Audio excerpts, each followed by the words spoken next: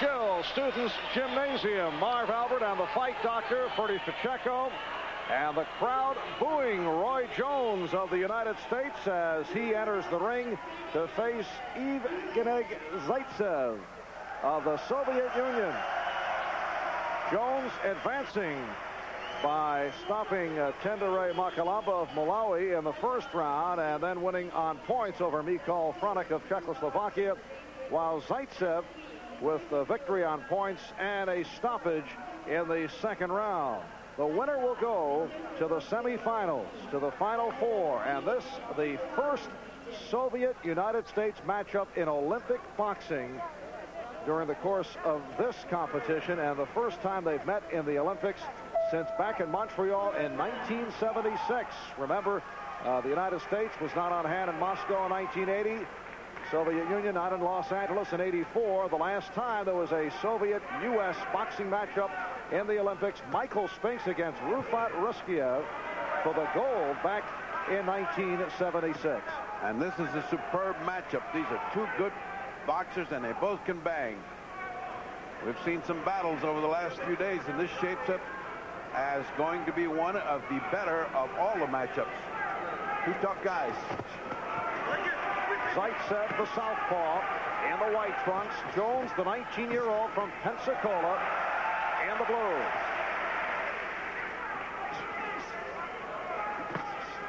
Roy Jones, the youngest member of the U.S. Olympic boxing team, and has looked very impressive. These guys are trading very, very hard leather. They're not trying to score punch. They're trying to score knockouts. They're not trying to score points. And we have seen that throughout the competition with both the Soviets and the United States. Hard left hand by Zaitsev. Zaitsev, a lefty, may be creating a little confusion in Jones. He's not landing as solidly as is Zaitsev. Although Zaitsev already has some blood on his nose, that jab of Jones has been zinging right on the nose. In fact, according to Counterpunch, Jones has been going great guns. He's averaged 107 punches per round in his uh, prior bout against Franek of Czechoslovakia. And in his first bout, Makalamba did not land a single punch. That a first-round knockout. Good uh, counter by Zaitsev after Jones landed. Well, Zaitsev is getting zinged right now by Jones, but he always comes back with something hard. This is shaping up as a very even first round and a tough first round. Who wins this round could be dictating the contest for the next two rounds. Ooh, nice oh, that right hand in, and blood is flowing from the nose of Zaitsev. That strong right hand by Jones, and a spurt of blood came out. He seems to have found the target, and he's going to it too much. Jones just going with it one after the other.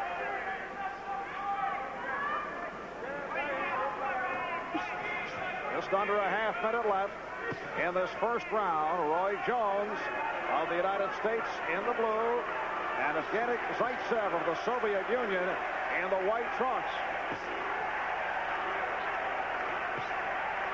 Again, Jones scores. He's come on very well in the uh, latter stage of this opening round and has taken the play away.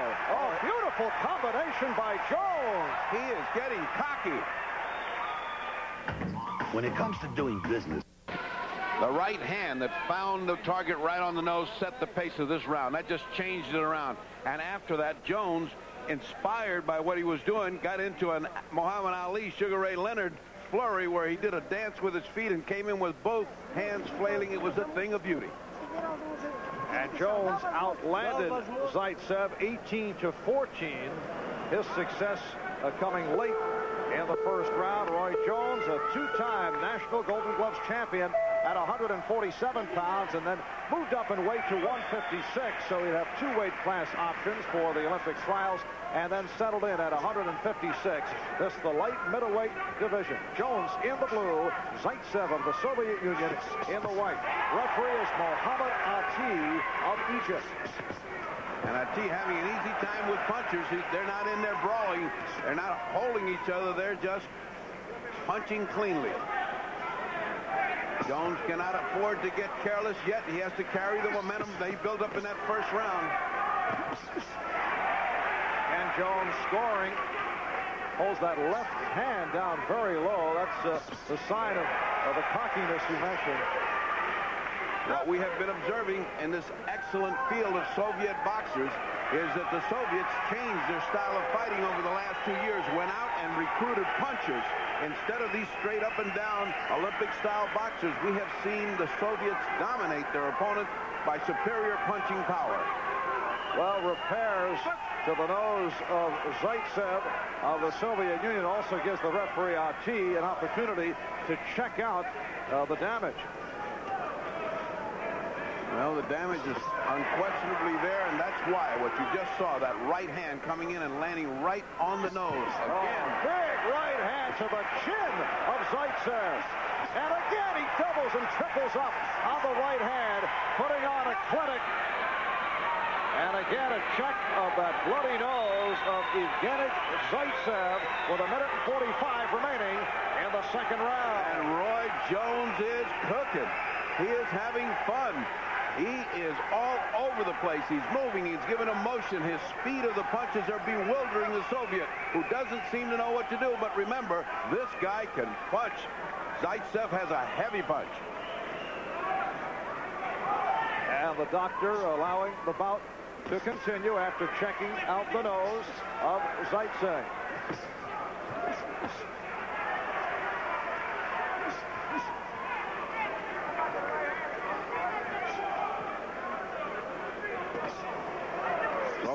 Determined to come in and land that one good shot that'll turn this around.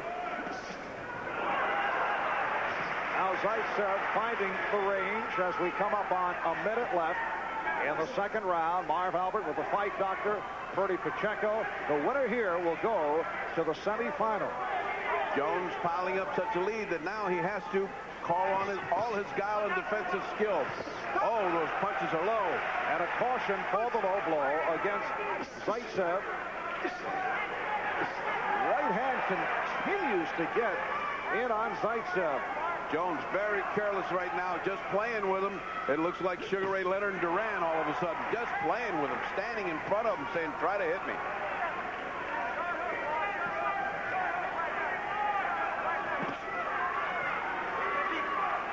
Zaitsev has that heavy punch and has been uh, loading up on the left hand. Jones cannot get careless. He's got to keep moving, giving him all those angles and all that motion. That was a scoring right hand.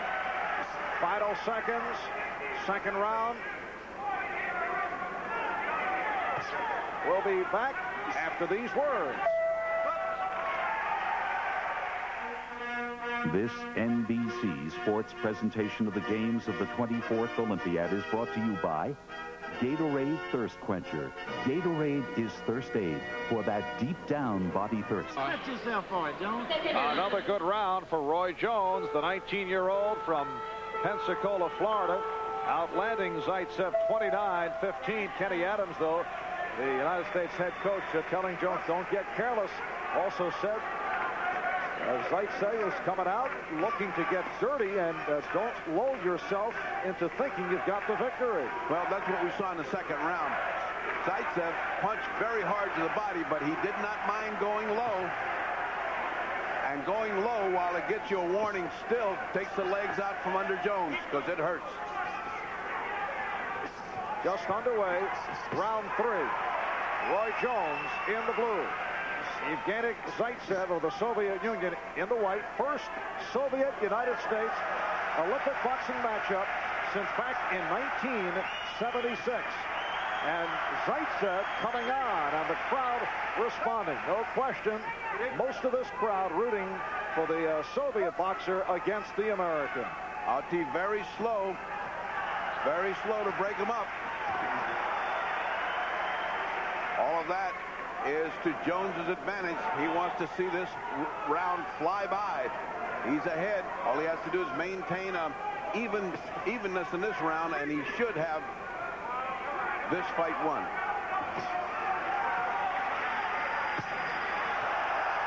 Crowd responding, although that appeared to be blocked by Jones, who again has the left hand down low. The Soviet body punches are very strong, designed to get Jones's legs out from under him, and they have done it. Jones has blinked a few times as those shots are really hard, right in the solar plexus. Minute 25 remaining in this third round, and uh, Jones again showing the overconfidence, and that could cost. Once again, Jones with that left hand down low and just challenging uh, Zaitsev. Jones with both hands down low, and what he's saying is, I've got the reflexes that are so fast, you can't hit me, and I'm going to hit you before you get off. And that's what he proved in about four of those little traps that he set for Zaitsev. Those traps work as long as the right hand hits Zaitsev, but if he misses it like he just did, he's open to a counterpunch. Under a minute left in the bout. Jones showing a little signs of weariness. He's getting a little lazy.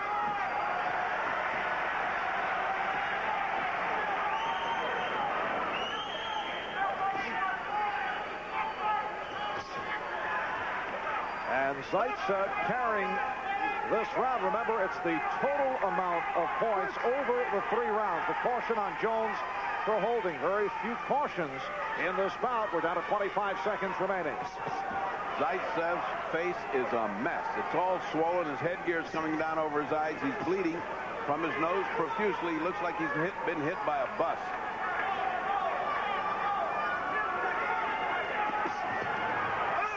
Jones eluding Zaitsev and then called for a caution.